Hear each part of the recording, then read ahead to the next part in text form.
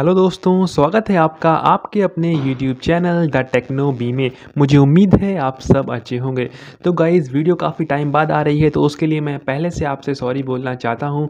तो गाइज़ जो लोग चैनल पर पहली बार आए हैं, मैं उनको फटाफट से और बता देता हूँ चैनल के बारे में। तो चैनल पर आते हैं free courses internship AKT update career opportunity part time job full time job और स्टूडेंट स्टफ़ तो अगर आप एक स्टूडेंट हैं स्कूल गोइंग स्टूडेंट हैं कॉलेज गोइंग स्टूडेंट हैं तो यकीन मानिए ये चैनल आपके लिए ही है। चैनल को सब्सक्राइब करके बेल आइकन दबाइएगा। हमारी फैमिली से जुड़िए, आपको काफ़ी मज़ा आएगा। आपको नए नए अपडेट्स मिलेंगे एजुकेशनल वीडियोस मिलती रहेंगी।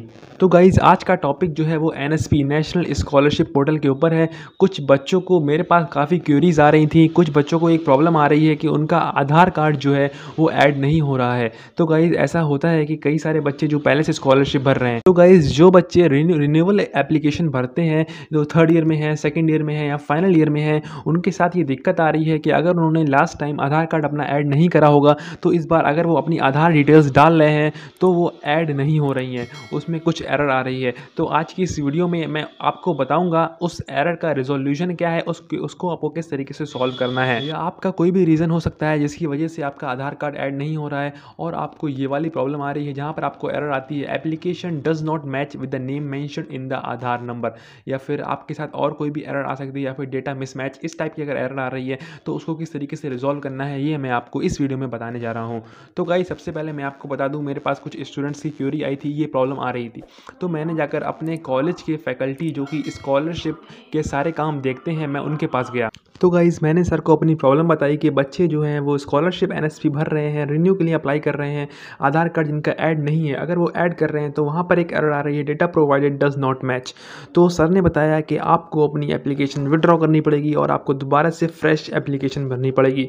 तो गाइज़ अगर आप एक थर्ड ईयर फाइनल ईयर के स्टूडेंट हैं और आपको ये पता लगे कि आपको फ्रेश एप्लीकेशन भरनी है तो अंदर से थोड़ा सा बुरा लगता है कि यार शिट मतलब फिर से बिल्कुल फ्रेश भरनी पड़ेगी और आपकी मान लीजिए पिछली साल रिन्यूअल स्कॉलरशिप भी आती हो और इस बार लास्ट ईयर में आपको फ्रेश एप्लीकेशन भरनी पड़े तो थोड़ा सा बुरा लगता है।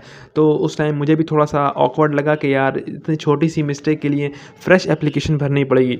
तो मैं थोड़ा सा सेट हो गया था उस टाइम फिर मैं वापस आ गया और मैंने सोचा, चलिए थोड़ा सा वेट करते हैं। क्योंकि अभी लास्ट डेट में काफ़ी टाइम है तो शायद वेबसाइट पर कुछ अपडेट हो, कोई चीज़ ऐसी हो जिससे कि मुझे विड्रॉ ना करनी पड़े एप्लीकेशन फ्रेश ना भरनी पड़े और इसी से काम चल जाए। तो ऐसा ही हुआ, फिर मैंने कुछ दिन वेट करा। तो गाइज़ मैंने कुछ दिन वेट करा और अभी कुछ ही दिन पहले एक मेरे साथ इंसिडेंट हुआ कि मैं एक जगह जा रहा था और मुझे पता चला कि पास ही में यहाँ पर माइनॉरिटी ऑफ़िस भी है, जिसे हम लोग अल्पसंख्यक विभाग भी बोलते हैं हिंदी में। तो मैंने सोचा क्यों ना अल्पसंख्यक विभाग, यानी कि माइनॉरिटी ऑफ़िस जाकर ये चीज़ पता करते हैं कि ऐसा क्यों दिक्कत आ रही है, ये प्रॉब्लम क्यों हो रही है। तो फिर मैं गया माइनॉरिटी ऑफ़िस और वहाँ पर दो तीन बंदे बैठे हुए थे। मैंने उनसे पूछा कि ये स्कॉलरशिप बच्चे जब भर रहे हैं तो ये रिन्यूअल में ये दिक्कत आ रही है कि Aadhaar data does not match ऐसे एरर आ रही है। तो उन्होंने वहाँ चेक करा, मैंने अपने फ़ोन में दिखाया बाकायदा कि ये दिक्कत आ रही है। तो फिर वो थोड़ा सा वो भी थोड़ा परेशान हो गया उन्होंने कहा, पूछा मुझसे कि आपका आधार कार्ड में नाम सेम है? आपकी जो स्कॉलरशिप में नाम है, वो नाम सेम है तो मैंने बताया कि हाँ नाम सेम है, फिर भी दिक्कत आ रही है।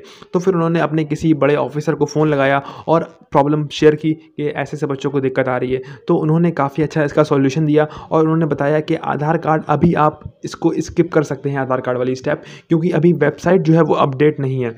तो इसका मतलब क्या हुआ? कि जो हमारी एन वेबसाइट है, वो भी आधार से लिंक नहीं है। और अगर आप ये आधार का डिटेल्स डालेंगे डेटा डज़ नॉट मैच तो इसमें आपको करना क्या है? आपको फ़िलहाल के लिए टेम्प्रेरी बेसिस के लिए ये वाली स्टेप स्किप करनी है और आप अपनी स्कॉलरशिप भर कर फाइनल सबमिट कर सकते हैं।